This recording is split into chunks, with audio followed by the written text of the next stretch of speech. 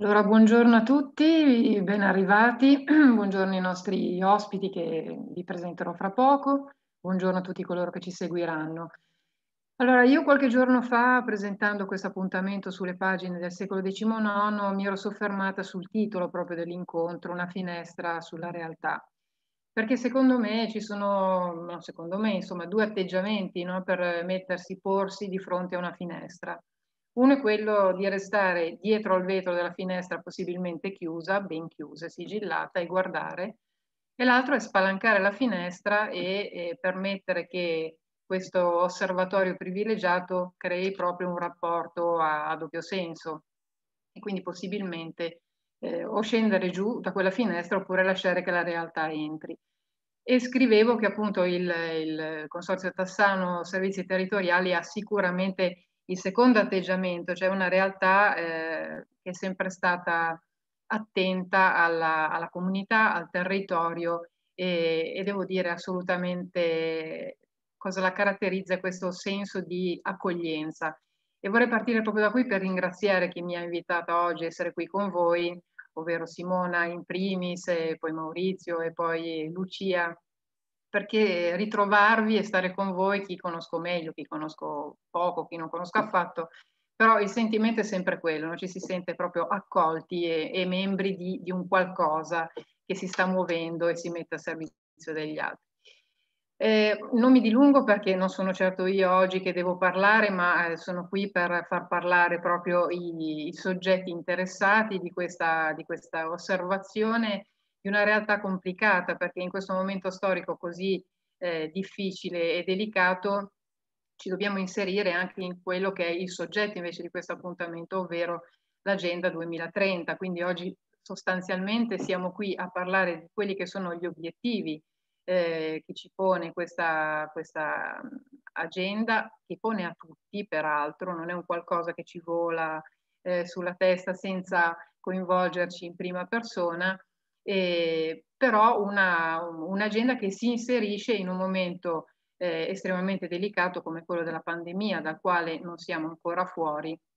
E quindi dobbiamo vedere oggi come non perdere eh, la capacità di, di, visione e di sguardo sul futuro in un momento che invece eh, nel quale la forte tentazione sarebbe quella un po' di chiudersi a riccio e aspettare che passi la tempesta. Eh, quindi vorrei sentire proprio da voi, sentiremo oggi direttamente da voi e partiremo proprio da, da Simona Rizzi, che è presidente del consorzio, del consorzio Tassano Servizi Territoriali. Insomma, oggi eh, che cosa ci farete vedere da questa finestra e come possiamo aprire questa finestra anche in rapporto appunto a quello che l'Agenda 2030 ci, ci pone come obiettivi da raggiungere. A te Simona, grazie.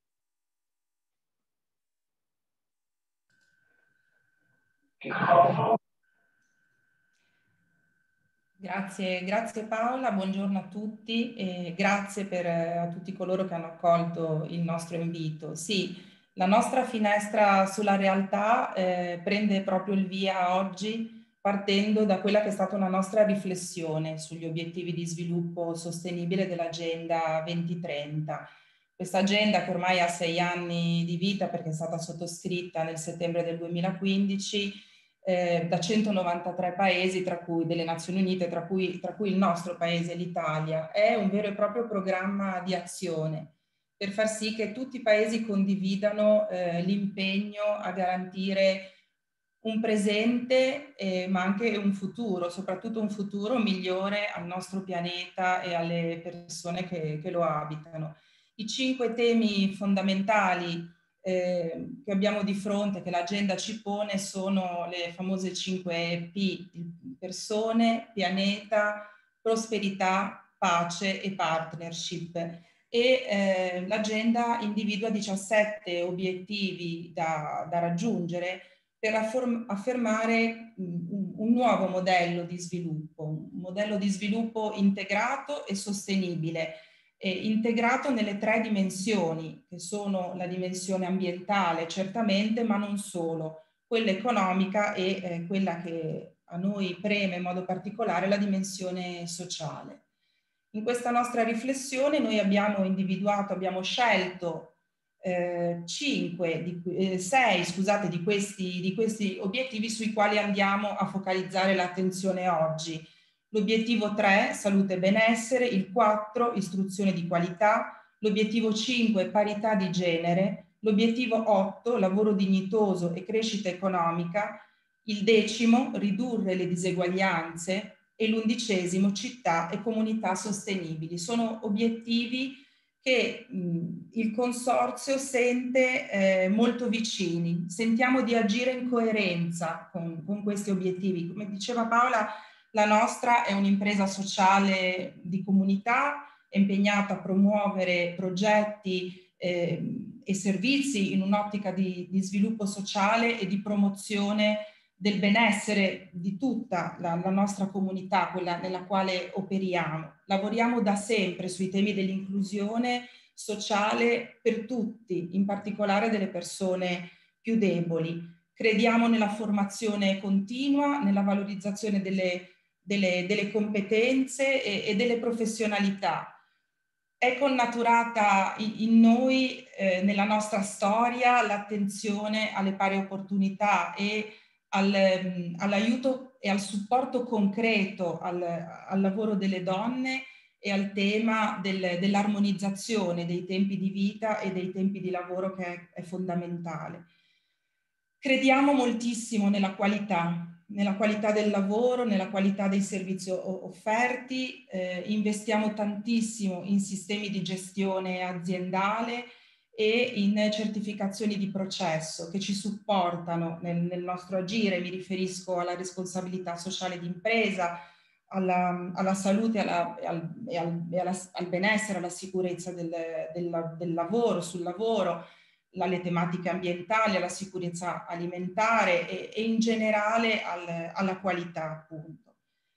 Crediamo nella rendicontazione non finanziaria, eh, ci impegniamo infatti da anni nella redazione eh, del bilancio sociale e eh, nella valutazione di impatto del nostro lavoro sulla, sulla comunità.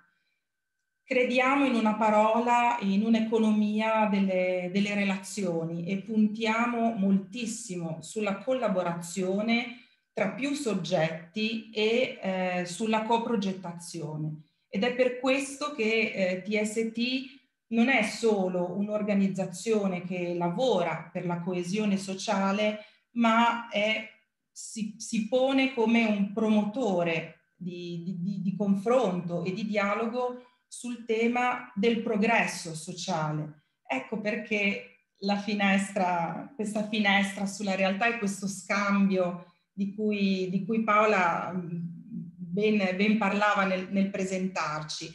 Vuole essere, permettetemi, anche davvero un segno di attenzione per, per il nostro territorio.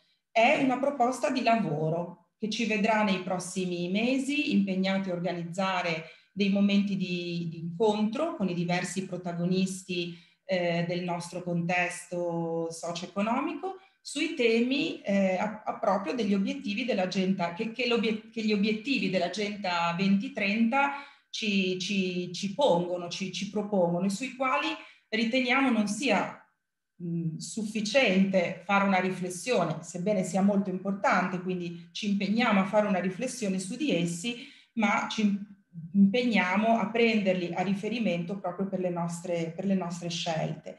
Al termine di questo percorso ehm, il consorzio darà una restituzione al territorio tramite un documento di sintesi che eh, appunto restituirà ciò che è emerso da questi, da questi incontri, da questi confronti, non solo dal punto di vista dell'analisi dei bisogni, ma anche delle strategie e degli strumenti che insieme possiamo mettere in atto per, per affrontarli.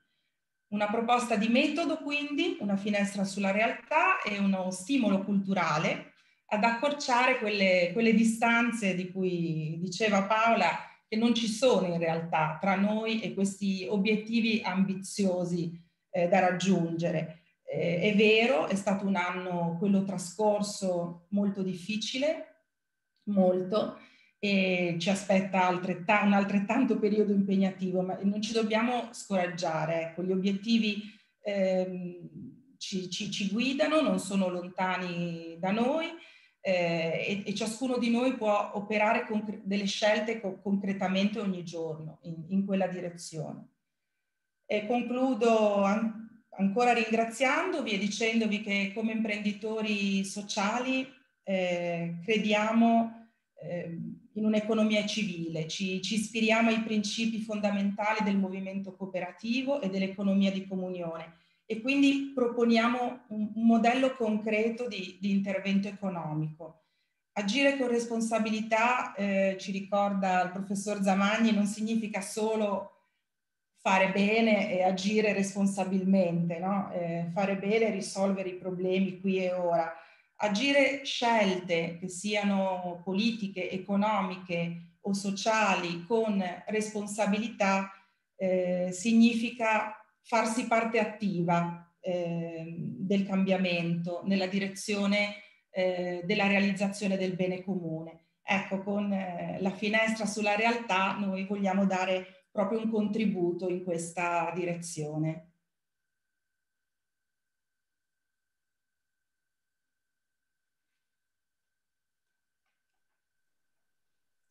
Allora, grazie, grazie Simona. E tra l'altro mi è fatto venire in mente un proverbio africano al quale sono particolarmente legata, che dice se vuoi andare veloce corri da solo, ma se vuoi andare lontano corri con gli altri. E penso che riassuma mm, insomma, in maniera plastica quello che tu hai, hai detto finora. E per continuare appunto su questo filo rosso no, del, della cooperativa, del, del, lavorare insieme per costruire mm. veramente eh, un futuro concreto eh, per tutti, eh, lascerei la parola adesso a Stefano Granata, presidente nazionale di Conf Cooperative e Feder Solidarietà, così sentiamo anche il suo punto di vista. Grazie. Grazie Paola. Un caro saluto a tutte e a tutti, ringraziandovi per l'invito di cui sono molto fiero e molto orgoglioso perché rappresentando le tante cooperative sociali aderenti a cooperative Fede Solidarietà è evidente che Tassano servizi territoriali è una sorta di icona di questa fase di passaggio che stiamo attraversando, alla quale siamo chiamati anche come cooperazione sociale.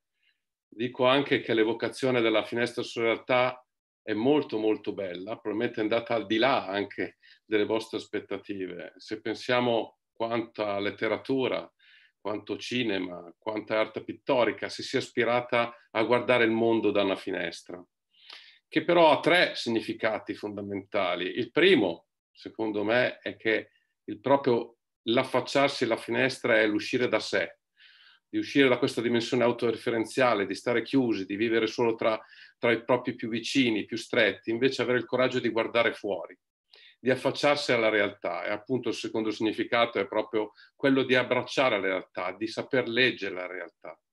Pensiamo soprattutto in questa fase di lockdown quanto le finestre o affacciarsi alla finestra ci ha permesso di tenere un contatto e quante persone hanno tenuto un contatto con l'esterno, con la realtà, perché magari vivevano solo nella loro dimensione domestica. Eh, quindi questa espressione di eh, questa realtà mi appartiene, non sono solo il mio, ma c'è anche l'altro.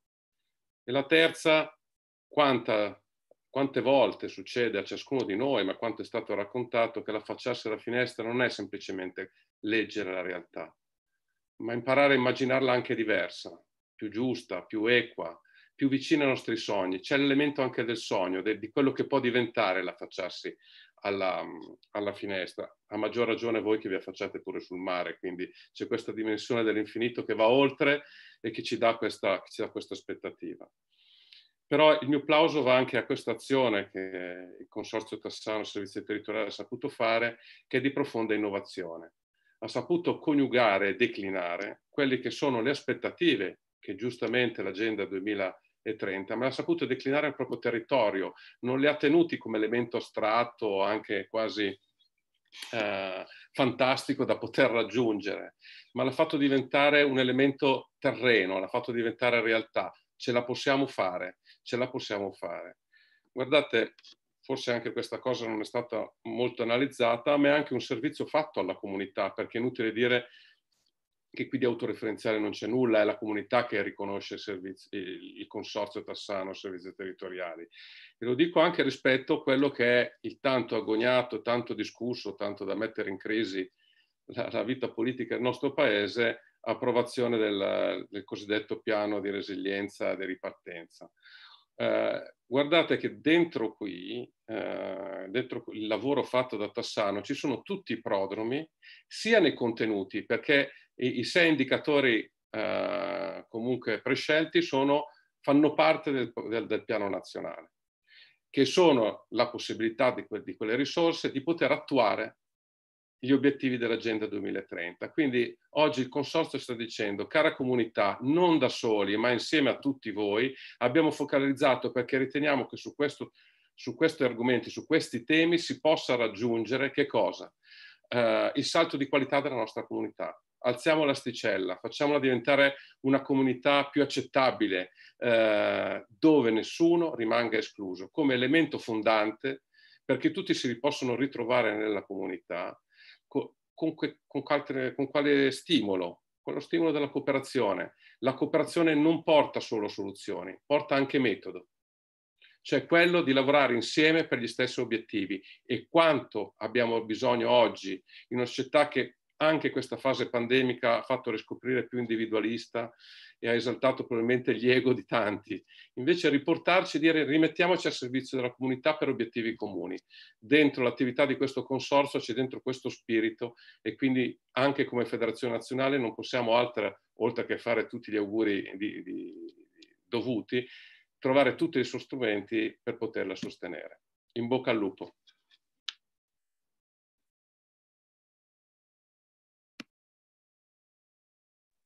Direi che insomma l'intervento di Stefano Granata è, ha, ha, detto tutto, davvero, ha raccontato in poche parole anche a doppia anima idealista e pragmatica, secondo me, del, del Consorzio Tassano Servizi Territoriali, nel senso grandi sognatori che però danno poi gambe a questi sogni e lo fanno mettendosi davvero a, a servizio di un territorio e collaborando, che è una parola meravigliosa, forse troppe volte usata a vanvera, ma alla quale dovremmo dare veramente un po' più di concretezza.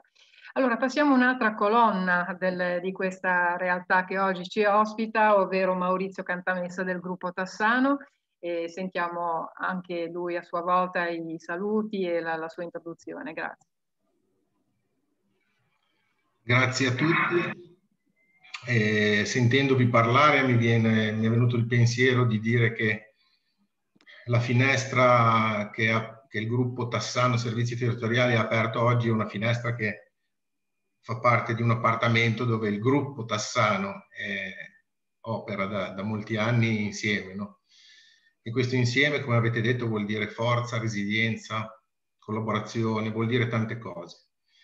Vuol dire, per esempio, che chi ha maggior sensibilità per per esempio per organizzare avvenimenti come quello di oggi, che solitamente sono molto belli e costruttivi, e la mette in campo, e, e altri come me che magari hanno meno sensibilità, anche perché abbiamo sempre la testa bassa sul lavoro e ne beneficia il gruppo tutto. Il gruppo Tassano eh, vuol dire mh, soprattutto per il territorio, il Tassano Servizi Territoriali, ma abbiamo anche mh, attività di residenzialità, quindi per anziani e per disabili, e in particolare un'attività di inserimento lavorativo. E credo tanti di voi sanno che per esempio qui a Casarza Ligure c'è una, una fabbrica che noi chiamiamo, amiamo chiamare fabbrica sociale dove gli occupati in questo momento sono un'ottantina di persone, sono quasi tutti provenienti dalle, dalle fasce deboli, dal disagio sociale.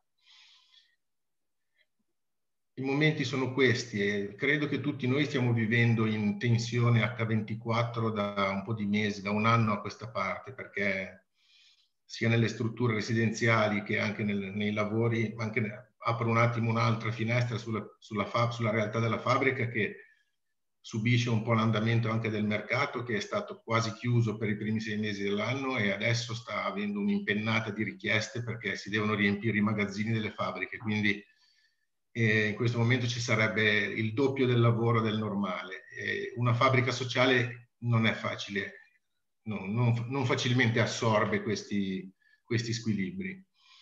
Quindi siamo veramente, oppure stamattina ero, ero, in una nostra struttura dove purtroppo è entrato anche abbastanza pesantemente il, il virus e ne stiamo venendo fuori proprio in questi giorni. E quindi alle persone, come dicevamo prima, con alcuni di voi che ci chiedono come va, è, sempre difficile rispondere, no? Ma credo che, che non essere soli è, è, una cosa grande. Quindi il gruppo Tassano in fondo è, è anche e soprattutto questo. Bene, grazie, grazie Maurizio. Allora, Ora, prima di entrare proprio nel vivo del, di questo incontro di oggi, che poi, come nella migliore logica del Tassano, sarà anche operativo, non, non sarà semplicemente un essere le lodi, insomma, di, questa, di questo mosaico di, di anime, eh, vi lascio la visione di un breve video che riassume un po' eh, quello di cui parleremo e ci introduce proprio agli obiettivi di cui ci, ci accennava Simona. Quindi buona visione.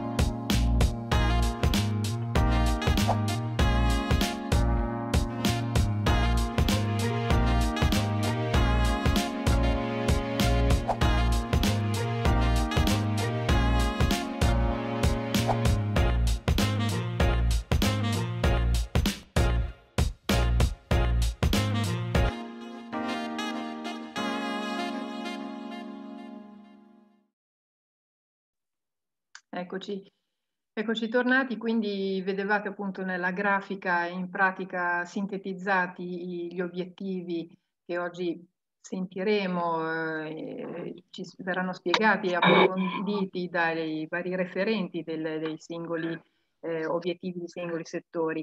E direi che eh, era gioco forza partire da quello che è diventato purtroppo di maggiore attualità, ma è anche sempre di attualità, insomma la salute e il benessere delle persone sono la condizione sine qua non per, per fare tutto il resto, per poter vivere nel, nel, migliore dei modi, quindi lavorare e avere una socialità, dedicarsi agli altri, eccetera. Si parte sempre da un presupposto eh, appunto di, di, benessere e salute.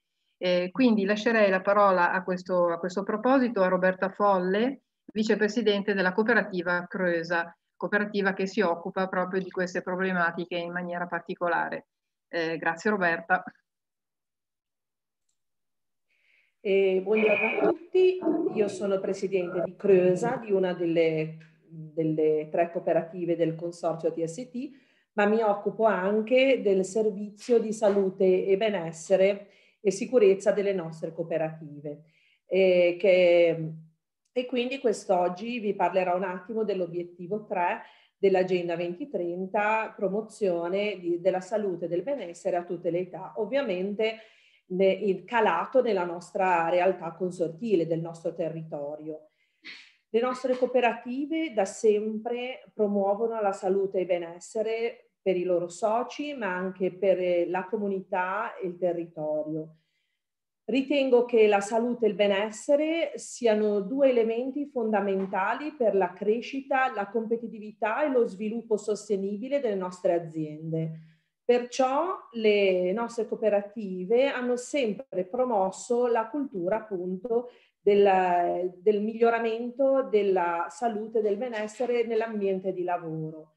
Infatti tra i soci promuoviamo molto la condivisione, l'ascolto e la partecipazione attiva, soprattutto per il mio, eh, diciamo così, servizio no? di salute e sicurezza è importantissimo che i soci sappiano che si possono sempre rivolgere a qualcuno per evidenziare i bisogni, le esigenze, i dubbi ma anche per essere proprio attivi, per la, eh, ritrovare le modalità e strategie per un continuo miglioramento del, della, della, salute e del benessere in azienda. Penso che lo star bene con noi stessi eh, ci permette di lavorare bene, ci permette di lavorare meglio. Ehm, ed è proprio per questo che da anni le nostre cooperative eh, hanno attivato delle strategie per aiutare i soci a star meglio, come ad esempio il telelavoro per in situazioni in cui il lavoratore non riesce a venire a essere in ufficio, per quelli che lavorano in ufficio e riescono a lavorare da casa, se hanno malati, bambini piccoli, le donne che devono rientrare dalla maternità, magari hanno bambini piccoli, hanno bisogno di un orario di lavoro più flessibile ma anche un supporto psicologico per chi ne avesse necessità. E, e anche la riprogettazione di persone eh, che rientrano magari al lavoro dopo un periodo di inattività, di malattia e che non possono più eh, fare quello che facevano prima. E, e poi un importante investimento è quello della formazione formazione proprio a livello di lavorativo, ma anche la formazione stessa sulla salute, sul benessere, sulla sicurezza, la teniamo dentro e cerchiamo di capire eh, i nostri soci che cosa no, evidenziano loro, quali sono le loro problematiche. Noi agiamo per il bene anche della comunità a 360 gradi. Per, in che modo? Erogando servizi di qualità. I nostri servizi hanno come obiettivo proprio, cioè devono essere di qualità, perché per le persone noi eh, abbiamo, eh, facciamo, ta- cioè per gli utenti dei nostri servizi, assistenza domiciliare, la sorveglianza, diciamo così, verso la, eh, la prevenzione e la solitudine, abbiamo dei servizi di custodi domiciliari, l'animazione geriatrica, l'inclusione sociale, i progetti di vita in, indipendente per i disabili e, e tanti altri servizi educativi per i minori ma anche per la comunità eroghiamo servizi che comunque aiutano la comunità. Eh, produciamo pasti scolastici, eh, igiene, facciamo l'igiene urbana.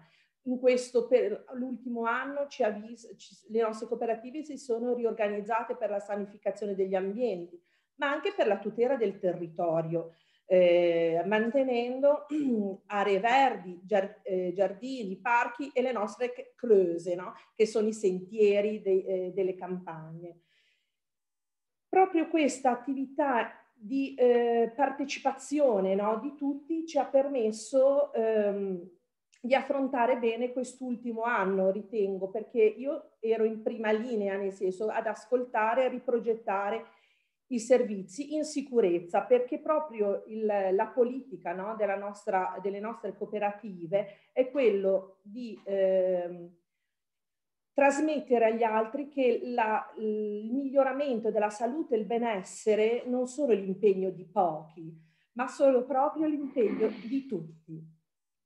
Di tutti perché solo così riusciamo ad affrontare quelli che sono i problemi che ci ah, dobbiamo affrontare giornalmente con questa, anche con questa pandemia.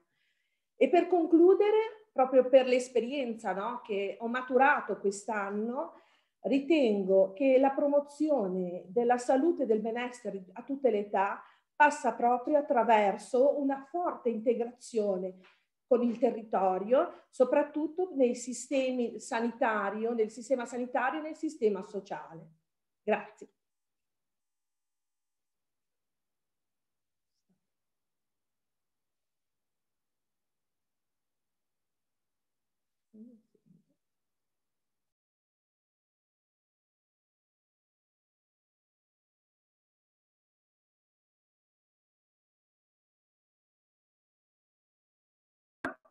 Scusate, non riuscivo a riattivare l'audio. Eh, grazie mille Roberta perché abbiamo sentito in questo intervento come un, un settore fondamentale, ma eh, come la, la benessere e la salute, sia in realtà un universo sfaccettato, veramente un caleidoscopio di tantissimi aspetti che immagino non sia stato facile in questo momento, in questo periodo in cui ogni giorno bisognava smontare, rimontare ed essere estremamente flessibili e pronti ad affrontare le nuove sfide che eh, si assommavano e si aggiungevano a quelle che già normalmente, insomma, il vostro settore eh, purtroppo vi, vi pone sotto, sotto, la lente di ingrandimento. Eh, quindi grazie tante all'intervento di Roberta Folle e visto che parliamo di sanità, insomma, non potevamo non avere come ospite, tra l'altro gli diamo il benvenuto perché si è insediato da non moltissimo, eh, il dottor Petralia che è il direttore dell'ASL 4 Chiavarese, eh, al quale diamo appunto il benvenuto e ringraziamo di essere il nostro ospite oggi. Grazie, grazie.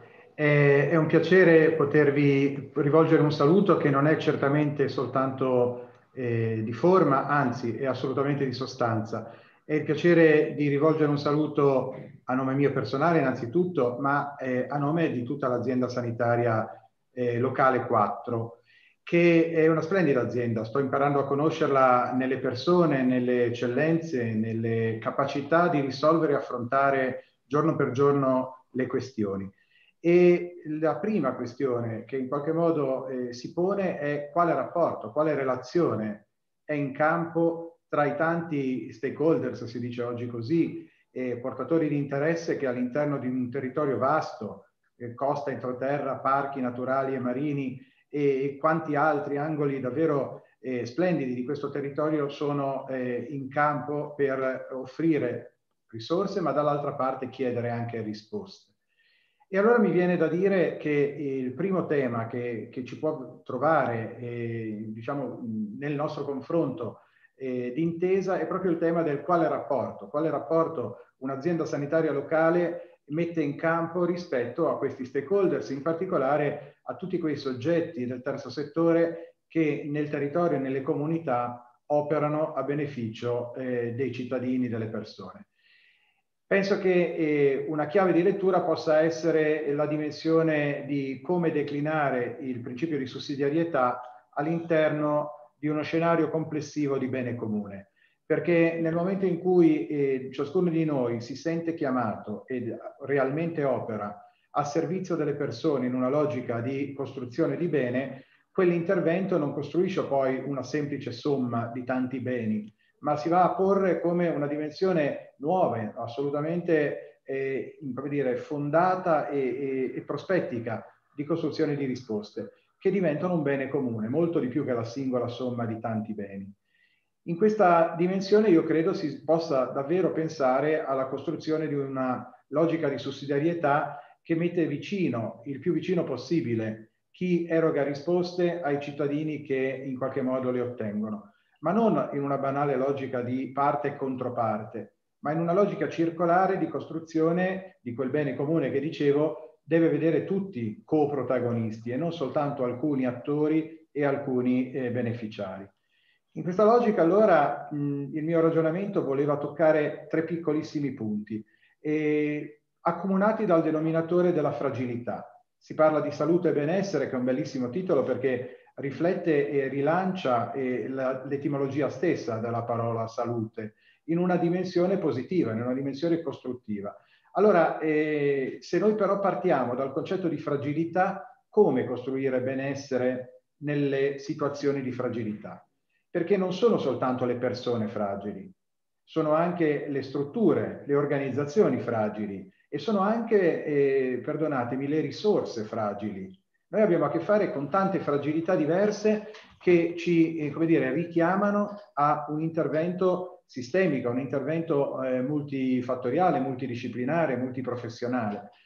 In questa logica allora affrontiamo insieme le fragilità in una logica sussidiaria, tesi al bene comune, mettendo in campo tutte quelle potenzialità, tutti quegli strumenti che ci vengono dati a disposizione. Mi verrebbe da dire quegli strumenti anche intangibili che però possono davvero rafforzare una visione e competenze, innanzitutto, una capacità di innovare e sviluppare, che necessariamente consegue, fino ad arrivare a una presa in carico concreta, efficace, reale, tangibile, di quelle che poi diventano le risposte. Ecco, io penso, concludendo, che eh, in un movimento circolare in cui tutti siamo chiamati a fare la nostra parte, in una dimensione sussidiaria, tesi al bene comune, il rapporto tra ASL, corpi intermedi, soggetti di terzo settore, operatori del privato sociale e anche del privato profit, perché no? Tutti possiamo davvero concorrere a migliorare la situazione di salute e quindi di benessere delle persone, dei cittadini, di tutti noi stessi, operatori, che siamo, come dire, accomunati da questa esigenza ontologica, mi verrebbe da dire, perché tutti siamo chiamati e ci sentiamo naturalmente chiamati a stare meglio, a stare bene, a stare bene con noi stessi, a stare bene con gli altri. Questo è l'auspicio, l'augurio che eh, vi rivolgo insieme alle congratulazioni per questo importante traguardo, insieme all'impegno a camminare insieme in questa prospettiva, certamente convinti che insieme si raggiungono risultati migliori. Grazie e buon lavoro a tutti. Grazie, grazie dottor Petralia. Direi che è un intervento eh, che ha posto l'accento su alcune parole particolarmente significative. Intanto le fragilità, abbiamo imparato a capire che sono tante le fragilità appunto che presenta una realtà, un territorio, una comunità, mi viene da dire, perché è, è forte, sta venendo forte il sentimento da tutti i vari interventi di questo senso di appartenenza e di questa volontà di lavorare per il bene comune di una comunità che è coesa, che sente la, la, la necessità di creare dei, dei, rapporti perché appunto, come dicevo prima, per andare lontani e quindi per porre delle radici solide eh, non si può che lavorare, non si deve che lavorare insieme, in sinergia. Eh, naturalmente in tutta questa realtà così complicata, come dicevamo anche prima, la necessità di reinventarsi quotidianamente, di dare risposte a delle esigenze che magari nascono anche eh, in tempi brevissimi, eh, si inserisce senza dubbio eh, quello che è l'istruzione, eh, la, la, formazione, cioè il, il, crescere, il creare le competenze, ma creare proprio gli individui, direi. Ehm, e proprio di questi giorni, anzi oggi, i nostri ragazzi sono tornati a scuola, facciamo riferimento alle scuole al 50%, perché comunque la necessità di tornare a scuola era, era impellente da, da, tanti punti di vista. Ehm, e quindi pensare e parlare a un'istruzione, a una didattica che deve essere eh, comune per tutti, equa e di qualità per tutti, eh, direi proprio che oggi, in questa giornata in cui si è tornati in percentuali ridotte, però in classe, è veramente di grandissima, di grandissima attualità. E, e quindi eh, casca proprio a fagiolo, come si dice, adesso passare al, all'altro obiettivo fra quelli scelti appunto dell'agenda, eh, l'istruzione e soprattutto un'istruzione di qualità. Quindi lascerei la parola a Ilaria Forcella del Sentiero di Arianna, che è un'altra delle tante anime eh, del Consorzio Tassano Servizi Territoriali. Grazie. Sì, buongiorno a tutti.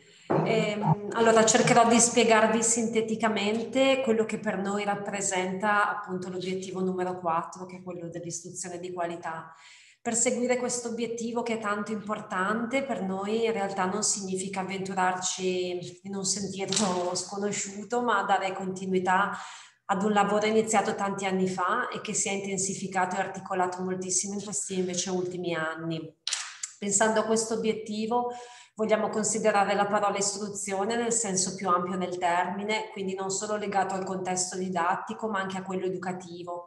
Vogliamo pensare al al verbo istruire nel suo significato originario, quindi all'azione di costruire dentro, immaginando di offrire ai bambini e ai ragazzi ciò di cui hanno bisogno per crescere in maniera sana e responsabile, attraverso relazioni ed esperienze arricchenti per il loro sviluppo. E ci piace molto l'idea di sostenere anche i loro genitori in questo importante percorso, offrendo stimoli, spazi di ascolto e strumenti utili Ogni giorno gli operatori della nostra organizzazione affiancano e supportano centinaia di bambini e di ragazzi impegnati in percorsi di formazione e di integrazione. Li seguiamo in ambito scolastico, li seguiamo nei contesti domiciliari, nei servizi ricreativi e negli sportelli di orientamento. e negli ultimi anni stiamo assistendo attraverso il nostro lavoro appunto ad una crescita allarmante di casi di dispersione scolastica e di ritiro sociale. In questo periodo questo fenomeno si sta accentuando ancora di più. Tutto questo chiaramente con conseguenze, con ricadute sociali ed economiche molto pesanti. Noi spesso come educatori, come operatori sociali siamo chiamati ad intervenire quando ormai il disagio è evidente, quindi uno degli obiettivi che ci, che ci, poniamo, il primo, è quello di cercare di lavorare in un'ottica di prevenzione. E per fare questo è assolutamente necessario creare una rete forte di collaborazione tra tutte le realtà presenti sul territorio e che si occupano di famiglie.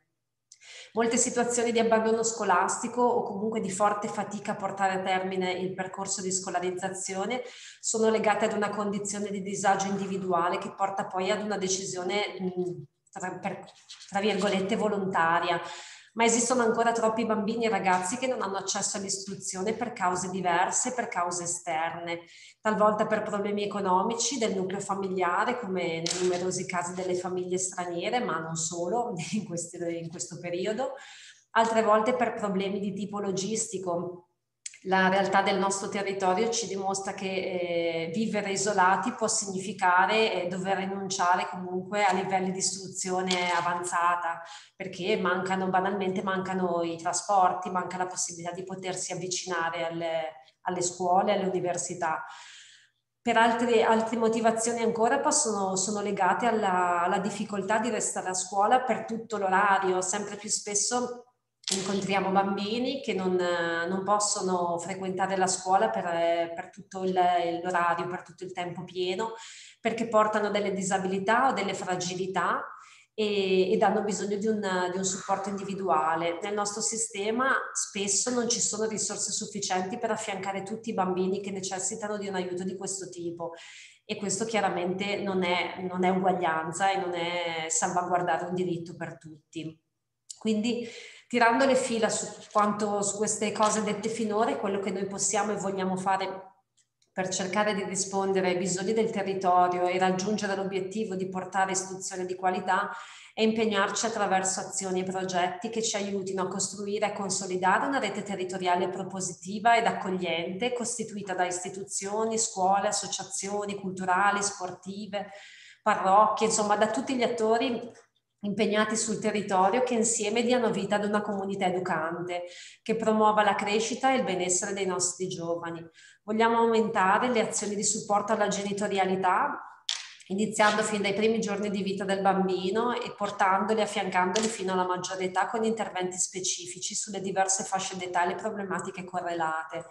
Continueremo ad affiancare i bambini e i ragazzi nello studio e nell'integrazione, cercando di supportare i più fragili con strumenti e metodi specifici e ad orientare i giovani nella scelta di, di percorsi formativi che valorizzino le loro inclinazioni e che li motivino al raggiungimento dei loro obiettivi professionali e personali i nostri servizi continueranno ad essere sede di, di tirocini formativi per dare anche questa possibilità di formazione sul campo con un tutoraggio di personale qualificato che possa affiancare i giovani.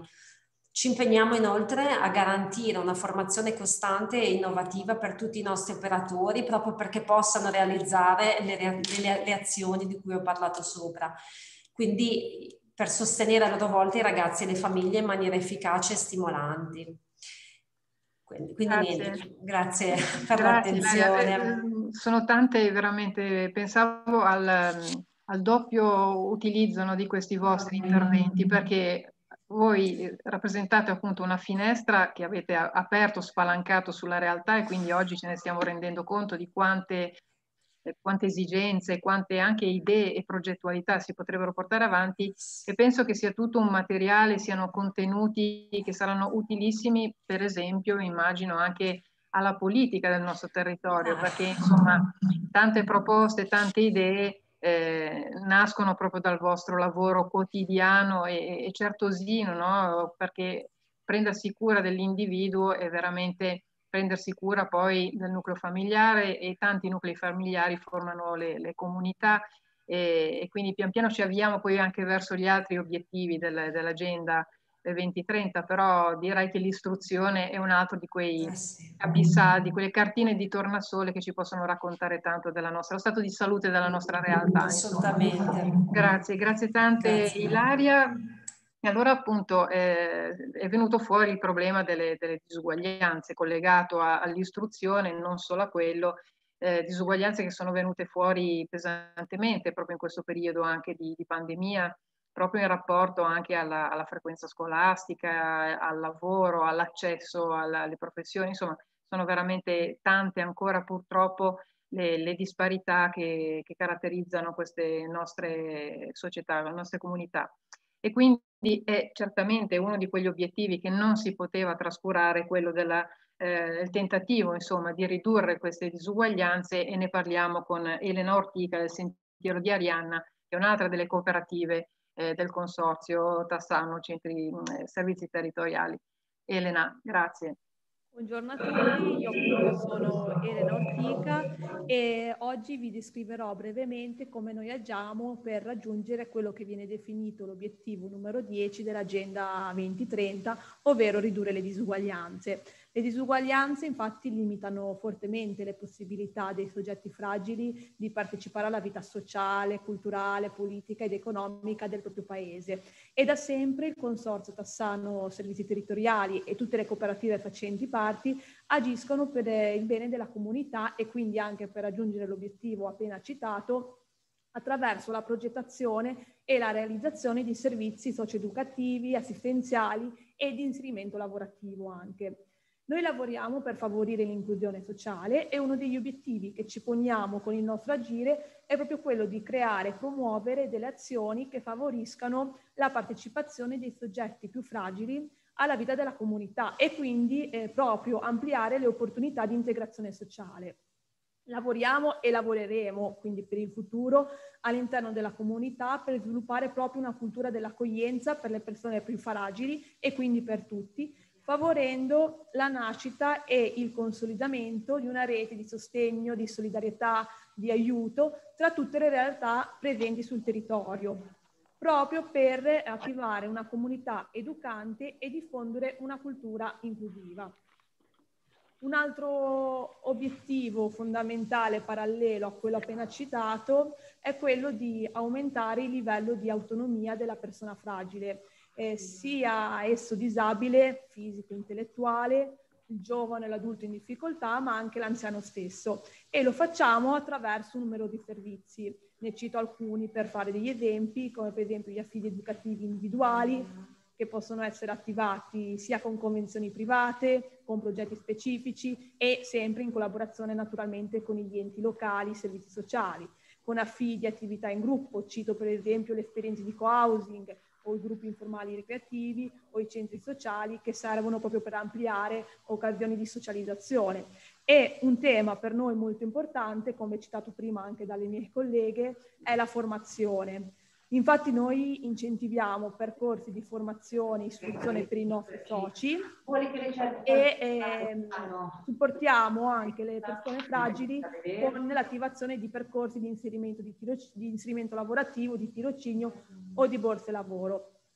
Più nello specifico noi abbiamo realizzato e reali lavoriamo per realizzare altri progetti che vanno a sostenere per esempio le persone disabili, ma non solo, anche la, le famiglie o gli operatori dei servizi sociali, proprio nel realizzare esperienze di vita indipendente o abitare in autonomia. Vogliamo rispondere infatti a 360 gradi al bisogno di autonomia della persona fragile, che va dalla ricerca di appunto abitare da solo, ma anche alla ricerca di un lavoro e anche provare esperienze di socializzazioni. Eh, in tale ottica, come obiettivo, noi vogliamo, cioè ci auspichiamo un rafforzamento dell'integrazione tra i servizi esistenti del territorio, quindi servizi sanitari, sociali, centri per l'impiego per il lavoro, proprio affinché la persona fragile possa percepire il proprio progetto di vita come un unicum, quindi casa, socialità, lavoro, e non come un progetto frammentato attuato da servizi e uffici differenti. E, per concludere, vabbè, vi do alcuni dati giusto veloci. Eh, per esempio, nell'ultimo anno abbiamo seguito 30 ragazzi di progetti di video indipendente o 69 inserimenti lavorativi.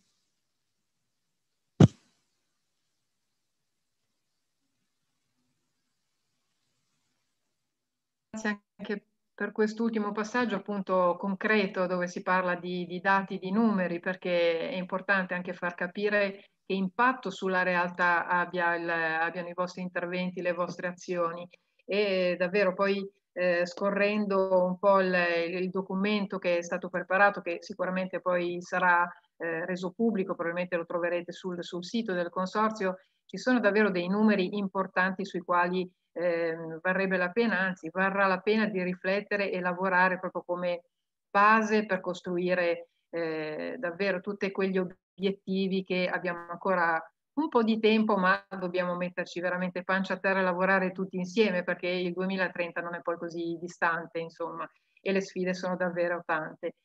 Ehm, ecco, dopo Elena Ortica eh, restiamo ancora insomma, in, questo, in questo ambito, in questo obiettivo e direi di la, far sentire insomma, il punto di vista di Maura Meschi, direttore sociale del distretto 15 e sentire insomma, il suo contributo a questo proposito. Allora, buongiorno a tutti.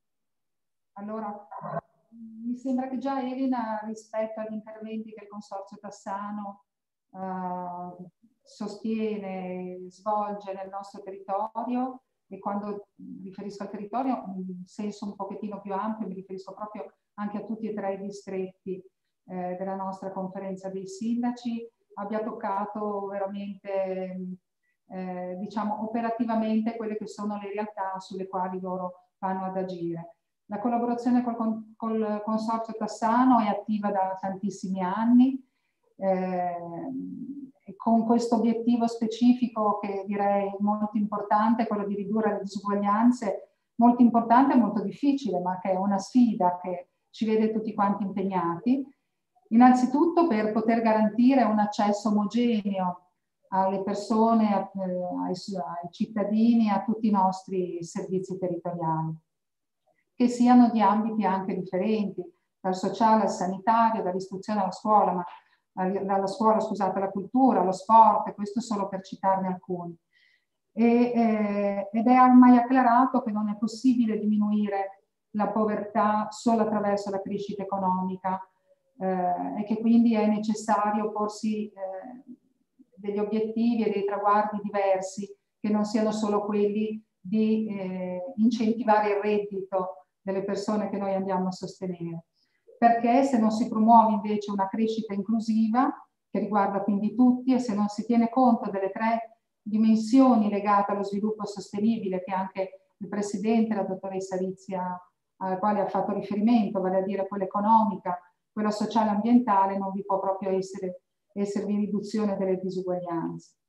E ridurre le disuguaglianze è anche una mission intrinseca del lavoro dei servizi sociali territoriali che sono presenti in modo molto capillare nel nostro territorio, dalla costa all'entroterra, e sono spesso una prima antenna dello stato di benessere o malessere delle nostre comunità. Tenendo conto dei traguardi posti appunto dall'Agenda 2030, possiamo dire che come servizi sociali territoriali le sfide più pregnanti possiamo sintetizzarle in cinque. E vi dicevo appunto prima, Elena eh, Ortica già e anche Ilaria hanno già fatto un po' riferimento a queste, ma sono di fatto la crescita del reddito delle famiglie più povere e fragili, con strumenti come quelli del reddito di cittadinanza e progetti di inclusione lavorativa, interventi sociali ed educativi volti a favorire l'inclusione di persone disabili, straniere, come interventi educativi di borsa lavoro, con mediazione eh, culturale per favorire quindi accessi a, a tutti i servizi sociali e sanitari, interventi educativi per ridurre la povertà educativa.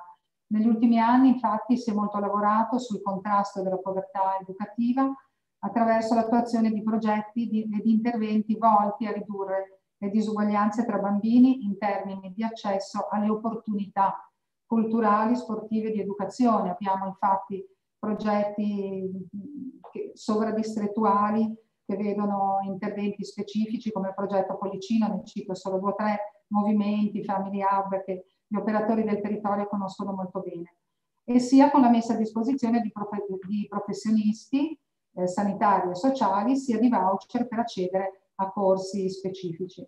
Poi garanzia di omogeneità nei servizi attraverso tavoli di lavoro interdistrettuali, abbiamo lavoro, eh, tavoli di rete tra i diversi distretti per garantire appunto modalità di accesso omogenee e quindi uguaglianza nel trattamento e nella risposta. E realizzazione di progetti distrettuali e sovradistrettuali per reperire risorse per sostenere tutto il territorio, eh, in particolare i piccoli comuni che in una logica di sussidiarietà eh, che è da sempre da tenere presente.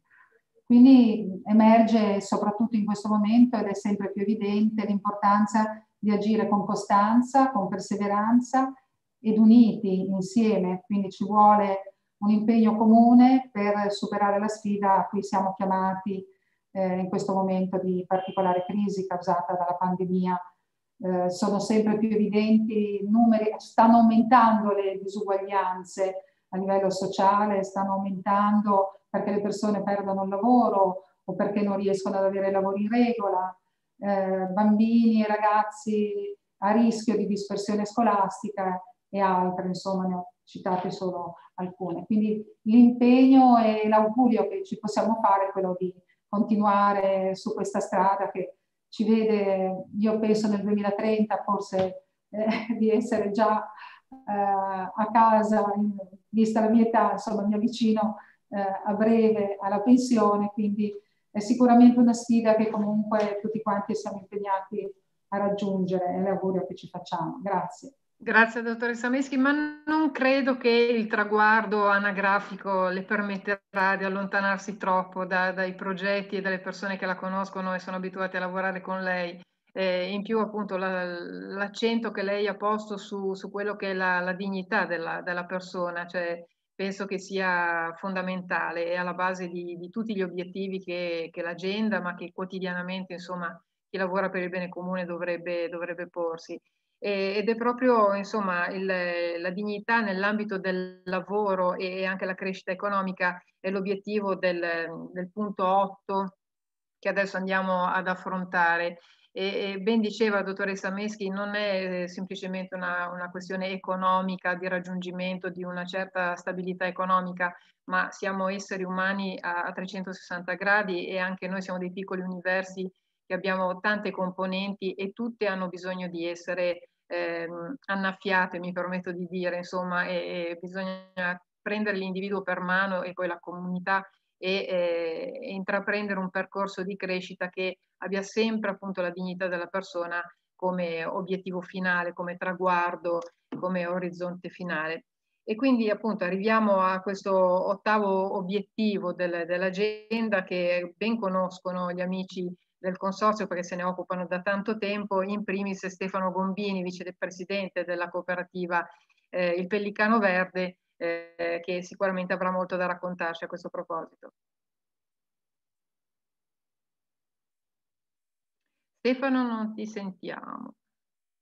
Eh, ecco, mi sentite? Sì, ecco, buongiorno a tutti.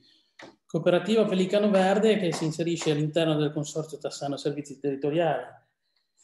Fa inserimenti lavorativi di fasce deboli tramite servizi ai comuni come igiene urbana, manutenzione del verde, raccolta differenziata e altri servizi che i comuni chiedono. Cosa facciamo? Tutti i giorni in rete con, eh, scusate, tutti i giorni in rete con lo staff delle altre cooperative costruiamo metodi di lavoro, metodi di lavoro differenti. E fattore imprescindibile per questi metodi di lavoro è considerare la persona al centro del progetto. Cosa vuol dire? Noi costruiamo il lavoro attorno alla persona, rispettandola in ogni modo. E cerchiamo di mettere la persona eh, a suo agio, motivandola, eh, accogliendola e offrendo, scusate, e offrendo ehm, un servizio di crescita. Il lavoro eh, che tutti i giorni il nostro staff e delle altre cooperative fa è quello di, eh, dicevo prima, motivare le persone, perché se le persone vengono eh, messe nei punti giusti, nei lavori giusti, e stimoliamo la crescita della persona. E se la persona si trova a suo agio, eh, matura, quella, ma, matura un senso di, il suo senso di crescita e si riscopre, si riscopre per quella che è. E, ehm, la nostra realtà occupa oggi 70 soci che portano all'interno della cooperativa eh, diverse, diverse professionalità. Queste professionalità aiutano la cooperativa a crescere e quindi a sviluppare processi di occupazione. Gli obiettivi che noi ci diamo sono quelli di una continua formazione, di, di un continuo monitoraggio delle competenze, eh, investimenti eh, di, di, su attrezzature, rispettando le, l'economia, la politica economica, l'economia green, eh, promuovere l'assunzione di giovani che possano sviluppare nuove idee e creare sinergie con altre realtà no profit e profit. Grazie. Grazie Stefano. Eh, bello insomma il cambio di, eh, di prospettiva, no? di punto di prospettiva, non il, il lavoro al centro e, l'uomo che eventualmente viene cercato per quel lavoro, bensì l'individuo al centro e il lavoro che gli viene costruito intorno eh, in base anche alle caratteristiche, alla formazione, eccetera. Mi viene in mente una frase di Vittorio Hugo che diceva, per me po' forte ma è calzante, secondo me dice non ci sono né erbe cattive né uomini cattivi, ma solo cattivi coltivatori. E, e questo probabilmente è un po' quello che il cambio di prospettiva che dovremmo eh, porci, capire che eh, ognuno di noi è una risorsa eh, se usata e se collocata, nel, come diceva Stefano Bombini, al momento giusto, nel punto giusto, nella, nella sua giusta collocazione, può sicuramente eh, dare risultati estremamente positivi, con ricadute positive su tutta, su tutta la comunità. Eh, a questo proposito restiamo sempre nell'ambito di questo obiettivo e vorrei passare la parola a Maria Diletta De Martini, direttore sociale del distretto 16, eh, per sentire appunto anche da lei eh, dalla, dalla, sua finestra che, cosa, che realtà si vede. Insomma. Buongiorno a tutti. Um, mi piaceva ripartire. Eh, sì, sì. Vedevamo Lucia Merione in realtà. Mi piaceva ripartire da quello che dicevate voi del lavoro intorno alle persone, ma mi viene da dire che forse la logica vincente, e lo penso proprio adesso mentre ve l'ho sentito dire, è il contrario. Cioè finché pensiamo che dobbiamo costruire qualcosa di specifico per qualcuno, forse non abbiamo raggiunto l'obiettivo 8. L'obiettivo 8 mette, così come già faceva l'articolo 23 della Dichiarazione dei diritti, del, dei diritti dell'uomo, il lavoro come il lavoro dignitoso come qualcosa ehm, che deve essere naturalmente così e lo deve essere per la persona che, diciamo così, non ha difficoltà e allo stesso modo deve essere per chi ha delle difficoltà. Noi in questi anni abbiamo lavorato molto col consorzio Abbiamo fatto anche un progetto tanti anni fa che andava proprio nell'ottica di accompagnare le persone più fragili a cercare un lavoro, un lavoro che deve essere un lavoro che rispetta i tempi della persona.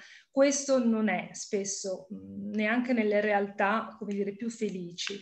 Non rispetta i tempi, non rispetta i tempi degli uomini, non rispetta i tempi delle donne, ma non rispetta neanche i tempi della persona. Non tutti reagiamo e siamo in grado di produrre risposte eh, negli stessi tempi um, il problema della paga, ecco, perché anche l'articolo che dicevo prima eh, dice che il lavoro deve permettere un'esistenza conforme alla dignità umana, eh, avere la possibilità di un reddito che permette di mantenere la propria famiglia dà dignità alla persona e lo dà anche a quelle persone con cui eh, Stefano e la Pellicano Verde lavorano, ma anche noi insieme a loro, ehm, fanno più fatica e non pensiamo solo alle persone che sono affette anche da problemi sanitari, ma anche persone che hanno avuto ambiti eh, familiari in cui sono cresciuti con difficoltà.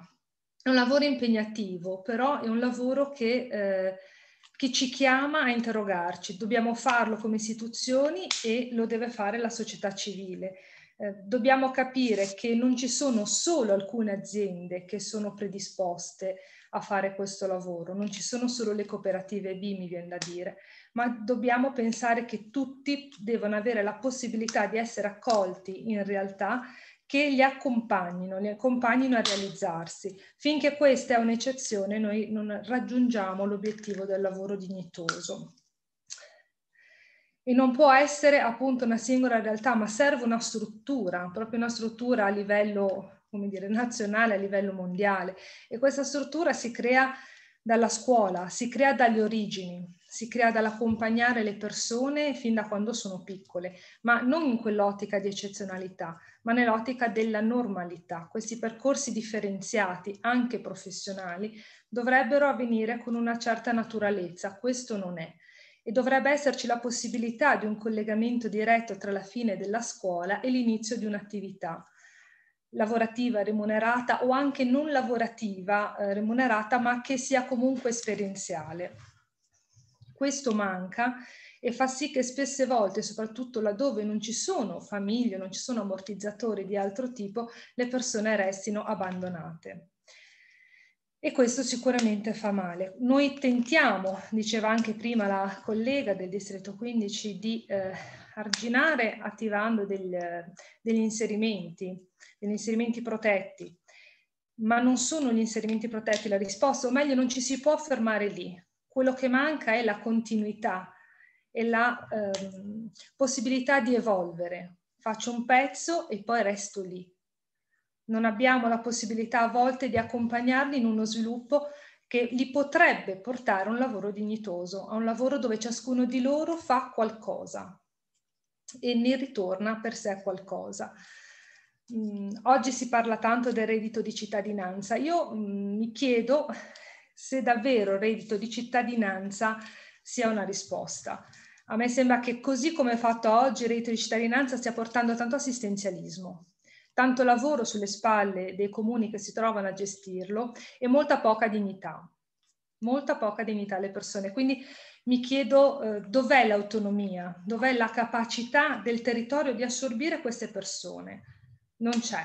È stata messa su una macchina che non riesce a partire, parte molto piano perché non è stato preparato il territorio e non sono state preparate le strutture territoriali. E quindi parlo delle aziende, delle aziende tutte, delle realtà che possono poi assorbire al proprio interno queste persone e dargli una prospettiva che non sia solo il faccio qualcosa perché lo Stato mi dà, ma possa poi evolvere anche lì in qualche impegno lavorativo concreto. Ecco, mi pare che finché pensiamo all'eccezionalità del lavoro per le persone fragili, per le persone più in difficoltà, continuiamo a guardare dal punto di vista sbagliato.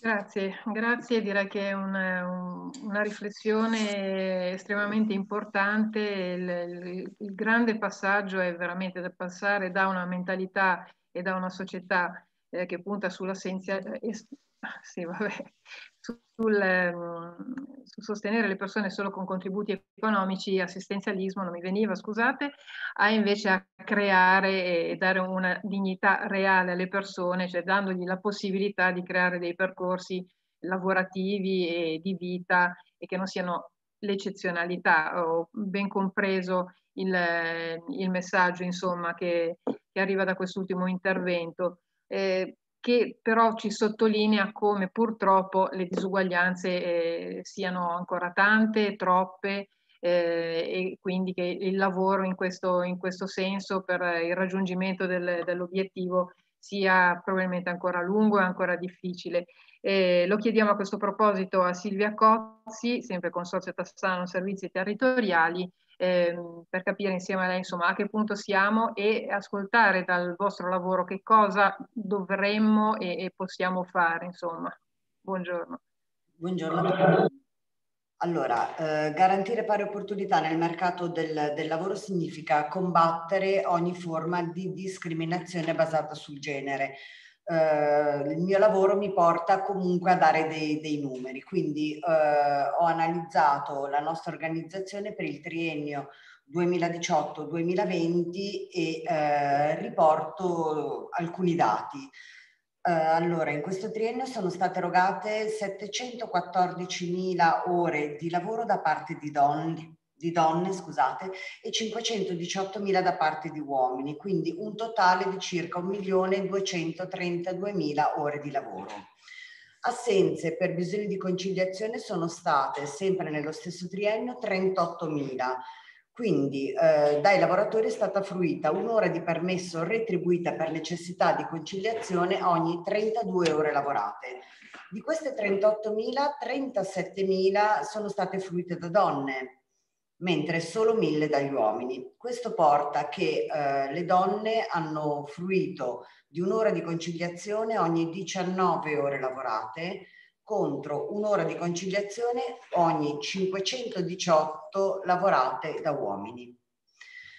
Tra le ore di assenza per i bisogni di conciliazione abbiamo 8.800 ore di maternità facoltativa, fruita dalle mamme, questo porta a una riduzione della retribuzione del 70%. Quindi a fronte delle ore totali di conciliazione il 23% hanno subito una perdita eh, di retribuzione. Eh, nella nostra organizzazione eh, abbiamo contratti a tempo determinato e a tempo indeterminato e anche rispetto a questo vi do due numeri eh, sulla situazione dell'ultimo triennio. A tempo determinato 6% donne, 5% uomini. A tempo indeterminato 56% eh, siamo donne e eh, 33% sono uomini. All'interno del consorzio Tossano Servizi Territoriali è attiva la filiale di Coperjob SPA, Agenzia per il Lavoro. Eh, dipendenti della società siamo per il 90% donne mentre il personale inviato al lavoro in somministrazione dalla filiale stessa, e parliamo nell'ultimo triennio di circa 1330 rapporti di lavoro avviati, il rapporto è del 40% donne e 60% uomini. Quindi all'interno dell'organizzazione in cui lavoro e che rappresento eh, vi è un alto livello di partecipazione femminile al mercato del lavoro e con una percentuale di stabilizzazione eh, decisamente molto alta. La stabilizzazione e la permanenza al lavoro eh, sono garantite anche grazie a progetti di inclusione e di supporto alla conciliazione che il, eh, il consorzio offre ai lavoratori in eh, tutto il, il periodo in cui lavorano all'interno dell'organizzazione, alle volte anche oltre. Eh, lo sportello conciliazione che è attivo presso l'ufficio personale è il luogo dove tutte le colleghe e i colleghi si rivolgono nel momento in cui necessitano di assentarsi dal lavoro per bisogni di conciliazione, che sia essa maternità, assistenza a figli minori, assistenza a familiari con bisogni speciali, anche ai genitori anziani. La promozione del servizio a sostegno delle persone in fase delicate della vita diventano quindi strategici per permettere alle persone di vivere un momento, partic- un momento particolare e di rientrare poi al lavoro al momento giusto, quando questo periodo termina. Eh, periodo marzo-giugno 2020, pandemia, eh, lo sportello ha comunque garantito l'assistenza a tutti i lavoratori a distanza e eh, l'approfondimento delle norme specifiche mh, nazionali proprio legate alla pandemia ha permesso a numerosi colleghi di perfezionare pratiche per poter fruire di periodi di assenza retribuita senza andare ad incidere negativamente sulla propria eh, retribuzione. Eh, nello mm, sportello conciliazione nel triennio analizzato le persone che si sono rivolte allo sportello per bisogni diversi sono state 108 di cui solo 9 uomini Oltre a questi accessi sono pervenute eh, sempre all'ufficio 160, più di 160 di richieste, richieste di assegni nucleo familiare, quindi le famiglie sono molto numerose. Rispetto alle assenze per conciliazione, lo sportello si fa carico del controllo e del supporto al reperimento delle pratiche burocratiche e amministrative che il lavoratore smaltisce in autonomia e fa da collante poi con i settori tecnici per la pianificazione dell'attività al momento del rientro al lavoro. Progetto per il futuro? Riuscire a supportare le persone con uno sportello che le possa prendere in carico maggiormente, anche sulle pratiche amministrative. Supportare per la stesura delle domande da presentare diversi enti, aiutare le colleghe e i colleghi ad accedere a finanziamenti, opportunità, bandi, eh, il tutto funzionale ai propri bisogni affinché possano ancor più sviluppare le proprie personali carriere professionali. Concludo dicendo che mi reputo donna fortunata per poter lavorare e rappresentare organizzazioni dove non è necessario conteggiare le quote rosa dove noi donne siamo partecipe e protagoniste all'interno delle nostre aziende, nella, nella nostra interezza, essere lavoratrici, donne, mamme e figlie. Quindi inizio questo 2021 con una visione progettuale per un miglioramento costante e confido di poter lavorare con persone che vogliono, insieme alla nostra organizzazione, un po' come questo tavolo oggi, eh, raggiungere gli obiettivi che ci siamo prefissati. Grazie. Beh, grazie, grazie Silvia Cozzi. Insomma, il quadro dei dati e dei numeri la dice lunga di, di, quanta strada ci sia ancora da fare, ma anche questa progettualità, questo slancio verso il futuro e questi suggerimenti eh, dimostrano che la strada è lunga, ma si può fare con, eh, se si ha ben chiara la, la realtà nella quale si vive e si lavora insieme. Adesso passiamo dalla finestra, diciamo, più locale, invece a una finestra più ampia sempre sul, sul problema dell'uguaglianza di genere e ne parliamo con Anna Manca, Presidente della Commissione Donne e Parità Alleanza Cooperative. Buonasera eh, a tutti. Non la vediamo, ecco sì, adesso sì. Attivo l'audio, sì, mi sentite? Sì, sì, sì. Ah, ok. Eh, grazie infinite per eh, essere presente a questo importante evento organizzato dal Consorzio. Ascoltando eh, le parole di tutti gli interventi, eh, devo dire che ricorre il, l'impegno concreto, fattivo del Consorzio, così come di tutta la cooperazione sociale sui territori per rimuovere ostacoli.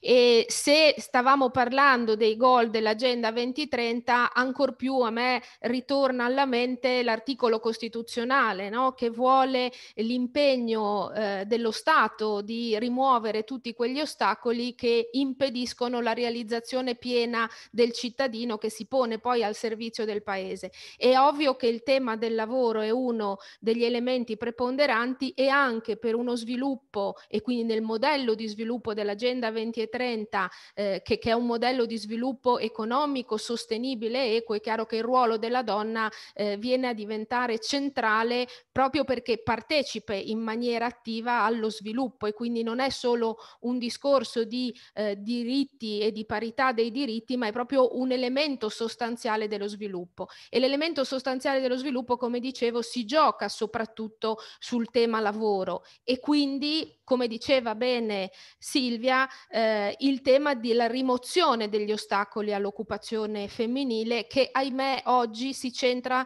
fondamentalmente con la mancata conciliazione dei tempi di vita e di lavoro.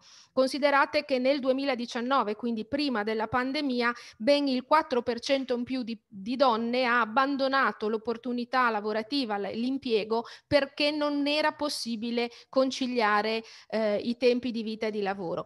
Eh, Condivido un cammino molto lungo con il Consorzio eh, Servizi Territoriali eh, proprio su queste tematiche, eh, un, un, impegno concreto che ci ha visto insieme eh, ad andare ad analizzare bisogni e organizzare risposte perché appunto il Consorzio eh, da tempo lavora su queste tematiche e non solo guardando a se stesso, tornando un po' alla metafora della finestra, da sempre non si guarda solo all'interno della propria azienda, ma le cooperative sociali, quando profondamente radicate sul territorio, possono agire un ruolo importantissimo anche per ehm, sostenere le piccole e medie imprese di cui è eh, soprattutto costituito il tessuto economico del nostro paese nell'andare a erogare e a rispondere ai bisogni di conciliazione che non sono solo quelli della prima infanzia, ma sono anche, come diceva Silvia, la possibilità di essere figlie, perché poi a un certo punto vi è anche tutto il tema della cura degli anziani piuttosto che, la, che della disabilità. Su questo vi è da fare ancora molto lavoro. Eh, gli ultimi documenti che sono anche stati eh, citati, le ultime azioni che il, che il governo, che eh, stiamo appunto, che si sta per andare ad affrontare, eh, eh, sta insistendo molto sull'infrastrutturazione sociale. Il Family Act andava un po' in quella direzione, eh, devo dire che più che erogazioni monetarie avremmo bisogno appunto di diffusione e accessibilità di servizi sul territorio eh, sempre più organizzati sartorialmente, sempre più atti a rispondere non la singola azienda, ma appunto i territori e le comunità eh, in modo che, ehm, che vi siano servizi che consentono alle donne di andare a lavorare e quindi di realizzare quella piena occupazione che significa anche andare a valorizzare tutte quelle competenze eh, che, di cui le donne sono portatrici. Noi sappiamo che le performance, ad esempio all'università, nei per percorsi scolastici, eh, sono performance ottimali, quindi perché sprecare tutto questo capitale sociale ehm, su cui la nostra comunità, su cui il nostro paese ha investito, se poi non riusciamo a inserirle al lavoro. Auspichiamo che come da legge di bilancio eh, ci siano degli strumenti per l'incentivazione all'occupazione eh, femminile che quindi porterebbe l'Italia eh, e deve portare l'Italia a standard europei ehm, decisamente più elevati per occupazione. Eh, l'importante è che se poi io do l'agevolazione all'assunzione di una donna, poi la donna possa davvero andare a lavorare perché ha tutti i servizi necessari. E l'infrastrutturazione sociale vuol dire dare grandi opportunità a tutte le, ai piccoli e alle piccole cittadine eh, del nostro paese di fare quei percorsi educativi che sono stati ben delineati per diventare cittadini a tutto tondo. E attenzione perché laddove aumenta l'occupazione femminile, quindi vi è un percorso dello sviluppo economico di quel territorio laddove l'occupazione aumenta, vi è un fenomeno di contrasto alla denatalità, che è un altro degli elementi cruciali a cui noi non possiamo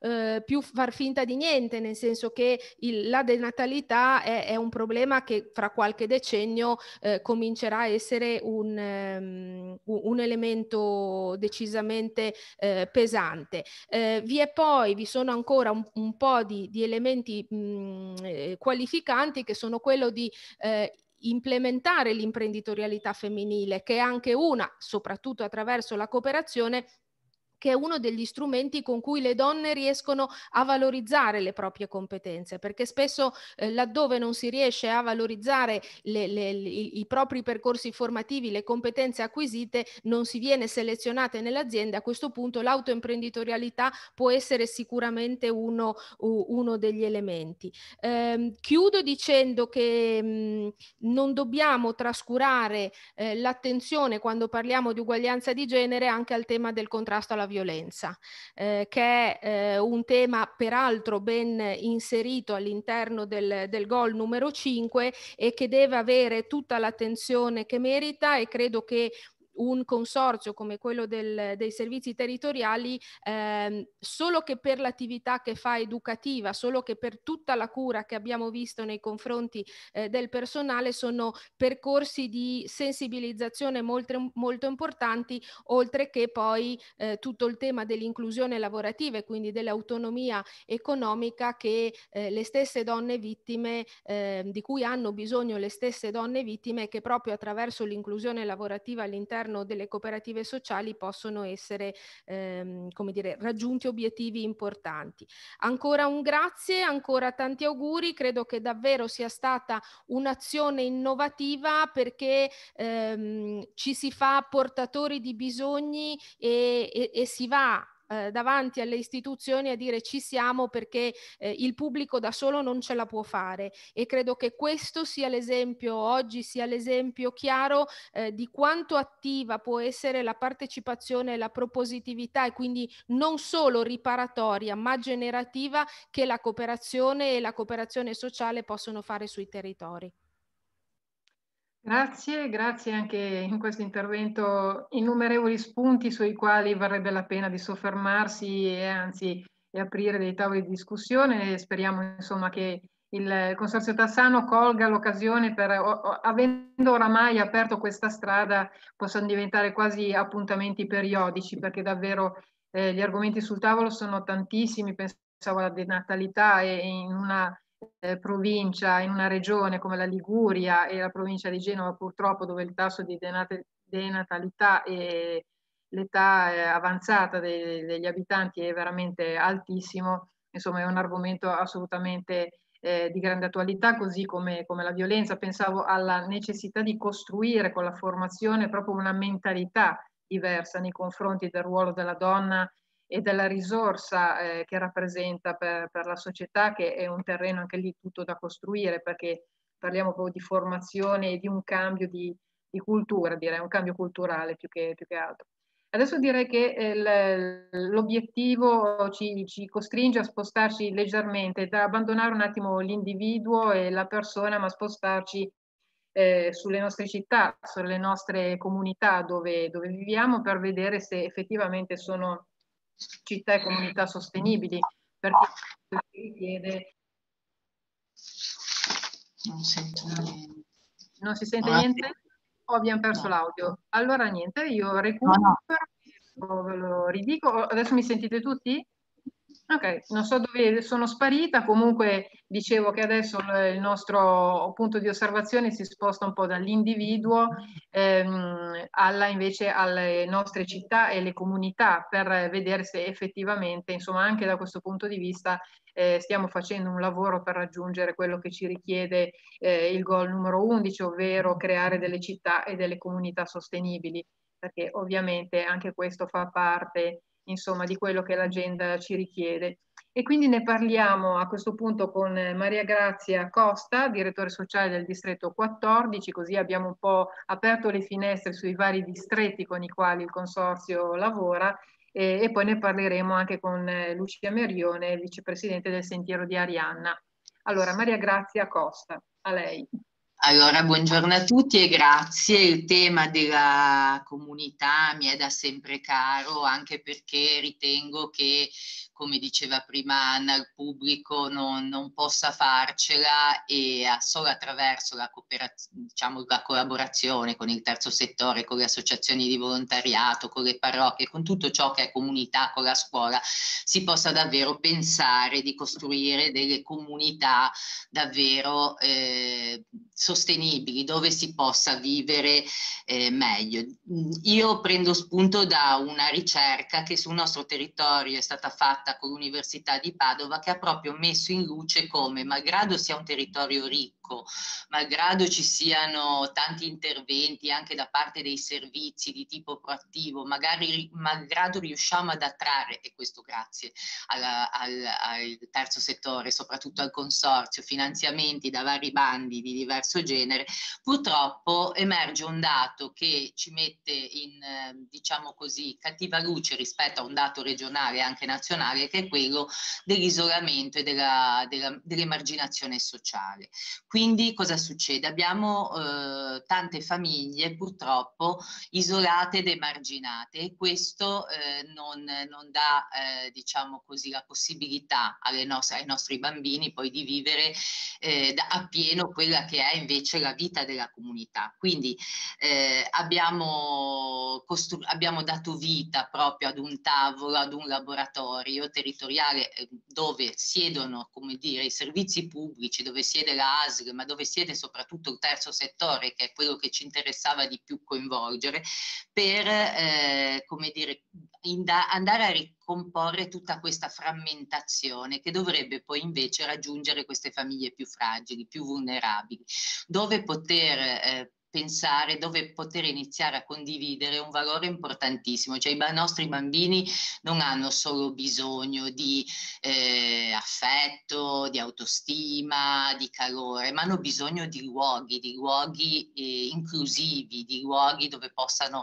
eh, come dire, trascorrere il loro tempo libero, dove possono intessere relazioni, dove possono condividere amicizie e, e quindi abbiamo puntato sulla creazione di un dispositivo che noi chiamiamo vicinanza solidale. Noi vorremmo attraverso questo lavoro di comunità eh, costruire una comunità dove le famiglie aiutino le altre famiglie e questo è già eh, una cosa che avviene no? nell'ambito di, delle diverse risorse che sul territorio sono attive a favore delle famiglie, ma avviene in, diciamo così, dentro eh, diciamo dei confini precisi di quell'associazione, di quella parrocchia. Noi vorremmo cercare di costruire un legame il più possibile forte affinché eh, si, ci sia una comunicazione più diffusa di quelle che sono le opportunità e rispetto a questo anche le opportunità di vivere un territorio che voi sapete è uno dei più belli del mondo, perché se partiamo da Portofino e arriviamo a Sestri Levante sfido chiunque a dirmi che c'è qualcosa che non va in questo territorio. Abbiamo un territorio bellissimo da un punto di vista paesaggistico, abbiamo i parchi, i parchi, eh, abbiamo il mare e quindi le nostre famiglie hanno tutta una serie di opportunità di vivere un territorio a tutto tondo. Quindi mh, devo dire che io eh, come le mie colleghe, ma da sempre credo nella forza eh, di riuscire a fare questo, a raggiungere questi obiettivi, soprattutto attraverso la forza del terzo settore, perché noi siamo schiacciati eh, dalle regole, dalla burocrazia, facciamo tantissima fatica e abbiamo, come diceva il direttore generale, tante fragilità.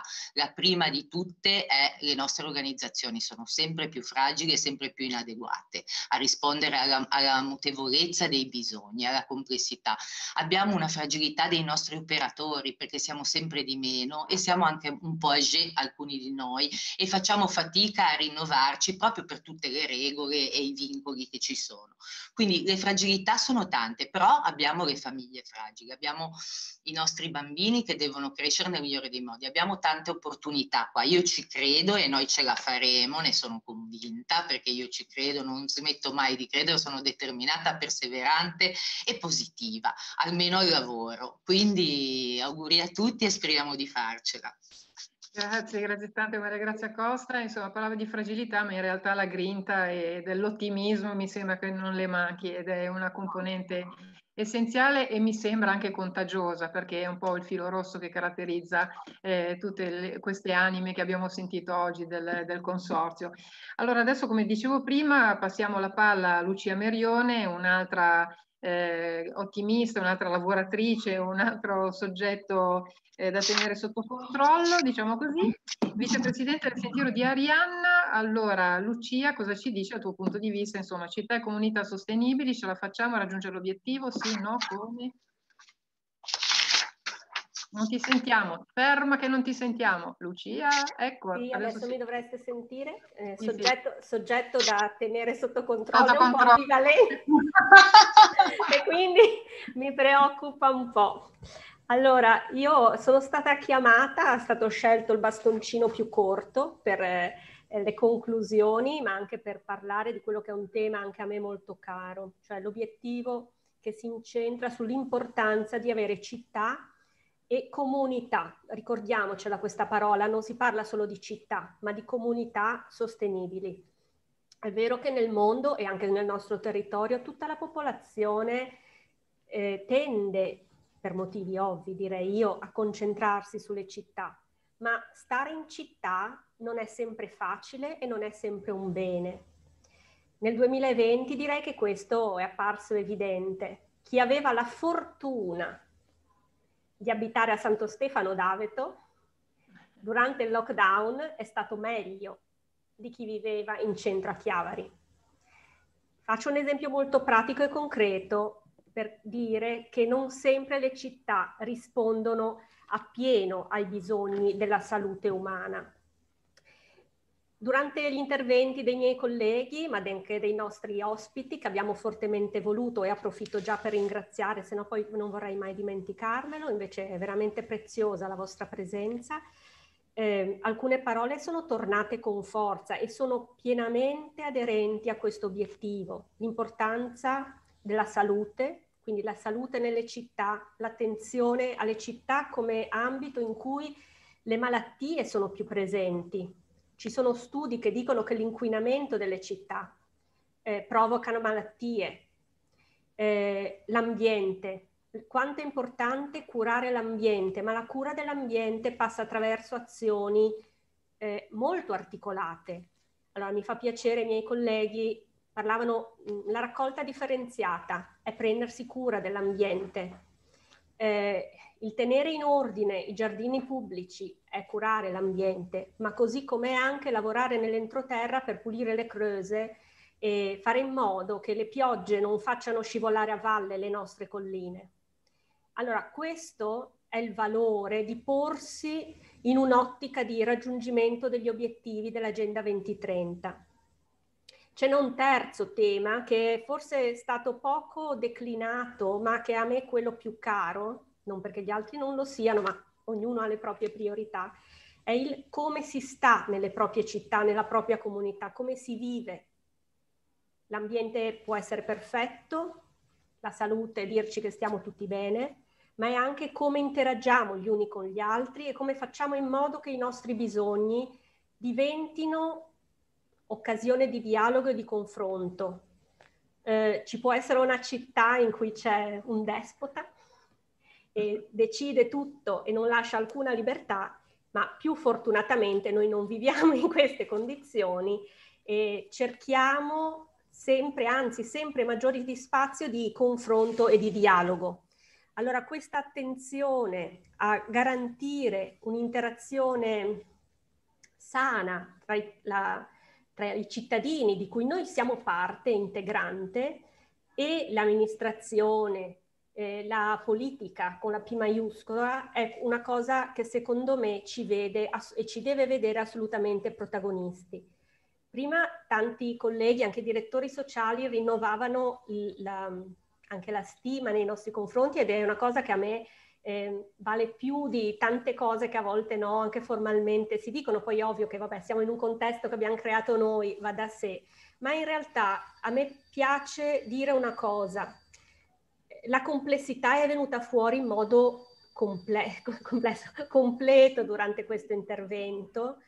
E, ehm, e noi di fatto come consorzio sento di dire che non portiamo soluzioni, cioè di fronte a certi obiettivi, non è un soggetto che porta la soluzione, perché di fronte a, a bisogni e eh, problemi complessi non ci sono risposte facili e quindi deve essere una pluralità di mm, visioni e di prospettive che si mettono in gioco.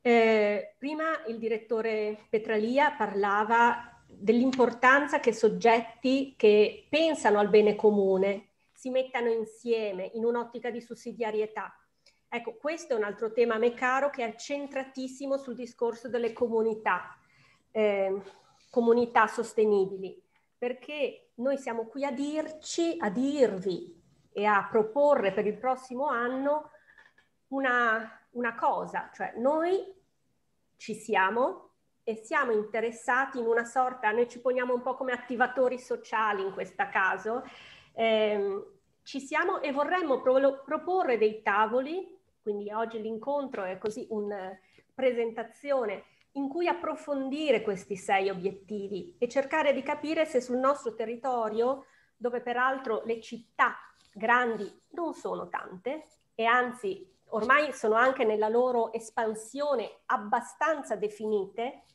eh, noi diciamo guardiamo al nostro territorio come a un unicum, eh, abbiamo la fortuna di vedere la costa e l'entroterra schiacciate tra di loro, facilmente raggiungibili in termini di chilometri, ma lo sappiamo, in realtà dif- distanti per servizi, per accessibilità, il trasporto sociale che è ridotto ai minimi termini, eh, la difficoltà di accedere ai servizi, Tut- tutti questi sono argomenti che fanno parte delle, del creare comunità eh, sostenibili. Eh, chiudo eh, dicendo due cose. Ho letto due giorni fa, era la giornata della comunicazione, e il Papa ha detto una frase riportata eh, che mi sembrava bella e pertinente riportare qua e condividere con voi e che leggo a una finestra sulla realtà.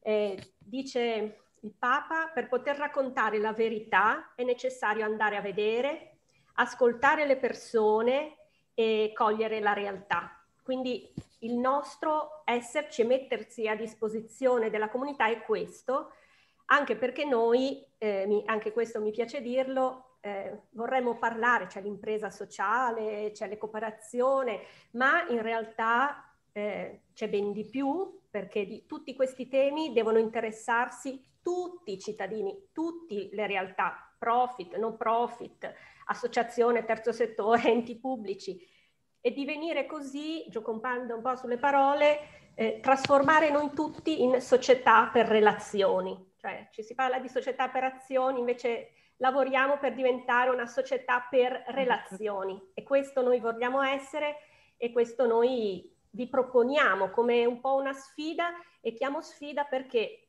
perché partecipare, darsi il tempo per parlare di problemi e ragionare e sognare implica anche una fatica. Allora la sfida quest'anno per noi è reggere questa fatica e condividerla però con voi e con altri che vorranno partecipare. Grazie, grazie Lucia. Allora abbiamo imparato tante cose, non ultimo che dobbiamo coniare davvero un, un nuovo soggetto, la, la, società per relazioni, direi che è geniale. E, e, ho capito anche un'altra cosa, che questo non può che essere un arrivederci, che una volta aperta la finestra non si può più richiudere. E, ehm, e quindi io ringrazio tutti gli ospiti, tutti i relatori, insomma, eh, tutte appunto le tessere di questo mosaico bellissimo che abbiamo realizzato oggi, che avete delineato oggi, con la promessa che sia davvero un arrivederci e che sia l'avvio a tanti tavoli dove sedersi per, perché abbiamo imparato, il Covid forse ci ha dato un po' la spinta che ci mancava per capire che siamo davvero tutti interconnessi ma non ce lo insegna internet, ce lo insegna la natura, basterebbe saper guardare e ascoltare quel territorio che ci circonda. Mi riallaccio le parole di, di Lucia, perché abitiamo in un territorio meraviglioso e mh, troppo raramente sappiamo cogliere insomma, gli insegnamenti che basterebbe cogliere guardandoci intorno. E, quindi come dicevamo, come dicevo all'inizio, vale il, il proverbio africano che insomma se vogliamo davvero andare lontano dobbiamo correre tutti insieme eh, quindi spero di vedervi in qualche modo, sentirvi molto presto per eh, mettere un altro mattoncino in questo percorso verso il raggiungimento degli obiettivi che non sono solo quelli dell'agenda 2030, ma sono gli obiettivi della vita di tutti i giorni per ognuno di noi. Io ringrazio davvero tanto tutti, il Consorzio Tassano in primis, i servizi territoriali e a presto, davvero buona vita e buon lavoro a tutti. Ciao, arrivederci. Grazie. Grazie, a presto. Ciao a tutti, grazie. Ciao. Ciao. Ciao.